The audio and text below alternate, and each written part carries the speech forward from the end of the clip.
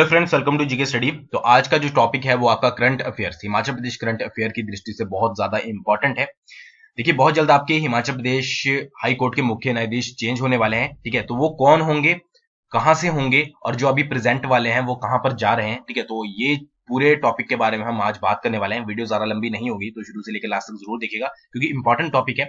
But video को शुरू से करने से पहले या मैं आपको बिल्कुल ये बताने से पहले कि कौन नए होंगे और पुराने वाले कहाँ जा रहे हैं कुछ बात कर लेते हैं हाई कोर्ट के बारे में। ठीक है, कि हाई कोर्ट का गठन कब हुआ था सबसे पहले, ठीक है, कौन से अनुच्छेद के तहत होता है और क्या क्या जो है आपका थोड़े बहुत इंपॉर्टेंट पॉइंट आपको पता होने चाहिए, जो मुख्य न्यायाधीश के बारे में होते हैं। ठीक है तो ये चीज़ आपकी एक पॉलिटी के अंदर भी ये सेक्शन आता है तो आप उसके अंदर भी इंक्लूड इसको कर सकते हैं। तो देखिए, भारत में सर्वप्रथम उच्च न्यायालय का जो गठन हुआ था, वो अठारह सौ बासठ में हुआ था, जब कलकत्ता, बंबई और मद्रास में उच्च न्यायालयों की स्थापना की गई थी। ठीक है सबसे पहले जो आपका हाई कोर्ट बनाया गया था, वो बंबई, कलकत्ता और मद्रास में अठारह सौ बासठ में बनाए गए थे। ठीक है, बात करें directly Himachal Pradesh High Court के गठन के बारे में तो उन्नीस सौ इकहत्तर में जो है हिमाचल प्रदेश हाई कोर्ट का गठन हुआ था। तो आई थिंक ये चीज़ें आपको बेसिकली पता होंगी। नेक्स्ट देख लेते हैं। अब बात करते हैं किस अनुच्छेद में जो है आपका न्यायालयों, जो उच्च न्यायालय, हाई कोर्ट है, उनके बारे में बताया गया है। तो संविधान के भाग 6 और अनुच्छेद 214 से 231 तक उच्च न्यायालयों के गठन में, यानी कि जो आपका उच्च न्यायालयों की हाई कोर्ट की फॉर्मेशन होती है, उनकी जो फ्रीडम होती है, स्वतंत्रता होती है, न्यायिक क्षेत्र जो होता है, उनका एरिया उनकी क्या क्या पावर्स होती है और सारी जो प्रक्रिया होती है, उनके बारे में बताया गया कौन से अनुच्छेद से 214 से लेकर 231 तक? ठीक है, और भाग हो गया आपका सिक्स तो ये चीज़ तो आपको पता लगी कि 214 से 231 तक सभी में जो है हाईकोर्ट के बारे में बताया गया है। अब एक अनुच्छेद इंपॉर्टेंट कौन सा बन जाता है यहाँ पर? 217 इसी के अंदर है 214 से 231 तक कि उच्च न्यायालय के न्यायाधीश पद के लिए नियुक्ति जो है वो अनुच्छेद 217 के तहत की जाती है। अगर आपने अभी एचएस का एग्ज़ाम पेपर देखा हो तो अनुच्छेद से रिलेटेड बहुत सारे क्वेश्चन पूछे गए थे पॉलिटिक्स से जो सेक्शन पूछा गया था, वो बहुत इंपॉर्टेंट होता है आपके लिए, क्योंकि अनुच्छेद वगैरह पूछे जाते हैं, आपके पास राष्ट्रपति से रिलेटेड क्वेश्चन पूछे जाते हैं तो हाई कोर्ट से रिलेटेड क्वेश्चन पूछे जाते हैं तो ये चीज़ें आपको पता होनी चाहिए मेजर मेजर ठीक है? ज़्यादा कुछ मैं यहाँ पर डिटेल में डिस्कस नहीं कर रहा हूँ, सिर्फ़ आपको जस्ट बता रहा हूँ कि आपको कुछ, अगर आप हाई कोर्ट के जज के बारे में पढ़ रहे हो तो उससे पहले आपको हाई कोर्ट के बारे में थोड़ा बहुत पता हो ठीक है? तो याद रखिएगा ये भी कि भाग छह के अनुसार, ठीक है, संविधान के भाग छह में अनुच्छेद दो सौ चौदह से दो सौ इकतीस तक उच्च न्यायालय के बारे में बताया गया है, चाहे वो उसका गठन हो, स्वतंत्रता हो, न्यायिक क्षेत्र हो, उसकी पावर्स हो सभी के बारे में। बट अनुच्छेद 217 जो है, वो आपको इंपॉर्टेंट इसके बीच में याद रखना है कि उच्च न्यायालय के न्यायाधीश पद की नियुक्ति जो होती है, वो अनुच्छेद 217 के अकॉर्डिंग होती है। क्योंकि डायरेक्टली क्वेश्चन आ सकता है। मान लीजिए आपसे पूछ लिया कि जो जो भी आपके नए हाईकोर्ट के जज बनेंगे, कि किस अनुच्छेद के तहत जो है उनकी नियुक्ति की गई है, ठीक है? तो आपको पता होना चाहिए दो सौ सत्रह।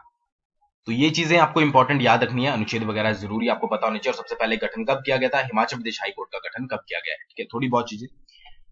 नेक्स्ट जो आपको पता होना चाहिए कि न्यायाधीशों की नियुक्ति अगर जो हाईकोर्ट के न्यायाधीश होते हैं, उनकी जो नियुक्ति की जाती है, वो राष्ट्रपति के द्वारा की जाती है, ठीक है? मुख्य न्यायाधीश की नियुक्ति जो होती है, वो राष्ट्रपति द्वारा, जो भारत के मुख्य न्यायाधीश होते हैं और जो संबंधित राज्य होते हैं, यानी कि जहाँ पर हाई कोर्ट के जज की नियुक्ति की जा रही है, वहाँ के राज्यपाल के परामर्श के बाद की जाती है, ठीक है? डायरेक्टली क्वेश्चन बनता है कि न्यायाधीशों की, हाई कोर्ट के न्यायाधीशों की नियुक्ति कौन करता है तो वो करता है राष्ट्रपति।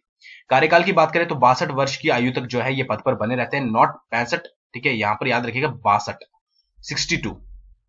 और वह अपना त्याग पत्र जो है राष्ट्रपति को सौंप सकते हैं, यानी कि जो नियुक्ति करता है, उसी को आपका त्याग पत्र सौंपा जाएगा। संसद की अगर सिफारिश हो तो राष्ट्रपति को अपने जो राष्ट्रपति है, वो आपके न्यायाधीश को हाईकोर्ट के अपने पद से हटा सकता है। ठीक है? मोस्ट इंपॉर्टेंट लाइन कौन सी है कि उसकी नियुक्ति उच्चतम न्यायालय में, के न्यायाधीश के रूप में अगर हो जाती है तो वह अपना पद छोड़ सकता है। यानी कि कोई हाईकोर्ट का जज है, और उनकी नियुक्ति जो है, आपके सुप्रीम कोर्ट के न्यायाधीश के, सुप्रीम कोर्ट के जज के रूप में हो जाती है तो वो अपना पद छोड़ सकते हैं। ठीक है? अब बात करते हैं यहाँ पर मुख्य न्यायाधीश सूर्यकांत की, जो आपके बहुत जल्द चेंज होने वाले हैं, ठीक है? तो हिमाचल प्रदेश के मुख्य न्यायाधीश सूर्यकांत सुप्रीम कोर्ट के जज के रूप में नियुक्त किए गए हैं। आपने लास्ट लाइन अभी प्रीवियस में पढ़ी थी कि अगर वो सुप्रीम कोर्ट के जज के रूप में नियुक्त हो जाते हैं तो अपना पद छोड़ सकते हैं।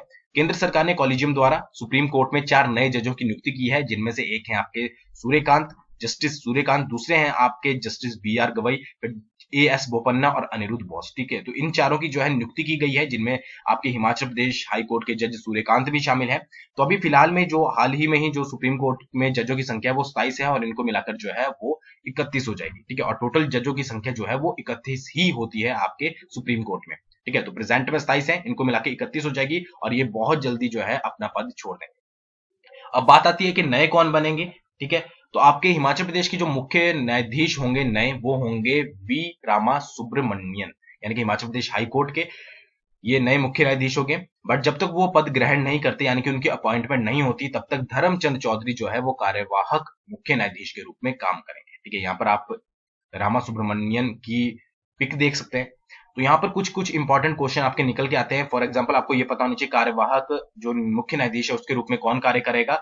वो करेंगे धर्म सिंह चौधरी नए आपके कौन होंगे? वो होंगे वी रामा सुब्रमण्यम बाकी आपको पॉलिटिक्स से रिलेटेड सेक्शन मैंने इंपॉर्टेंट बता ही दिया, ठीक है?